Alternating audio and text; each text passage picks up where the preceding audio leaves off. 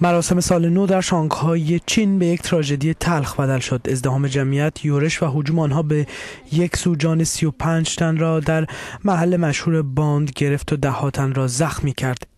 به گفته شاهدان این فاجعه دردناک ثانیه پیش از نیمه شب لحظاتی قبل از تحویل سال نو میلادی صورت گرفته. اغلب قربانیان را زنان بین 25 تا 35 سال تشکیل میدند یکی از کسانی که در لحظه وقوع حادثه در محل بوده به خبرنگاران گفت که شب گذشته بسیار تلخ و تاریک و ظالمانه بوده. او گفت بسیاری در مقابل چشمانم به زمین افتادند. از روی آنها رد می شدند و مانند این بود که مورد حمله تروریستی قرار گرفته باشیم. انگار مجبور باشید به هر قیمتی زندگیتان را نجات دهید. دیگری می‌گوید وحشت زدم همه به اینجا میآیند. دیشب در آستانه سال نو میلادی شبی پر اهمیت برای همه خانواده ها اشاق و برای بسیاری از قربانیان.